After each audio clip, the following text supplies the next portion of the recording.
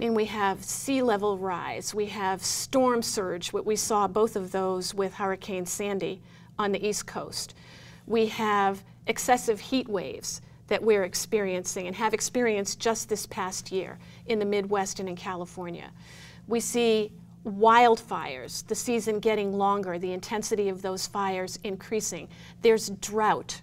So all of these consequences that are related or exacerbated in some way by global warming and the carbon pollution that we're putting into the air our communities are seeing them and are dealing with them on the ground. They're not waiting for Washington.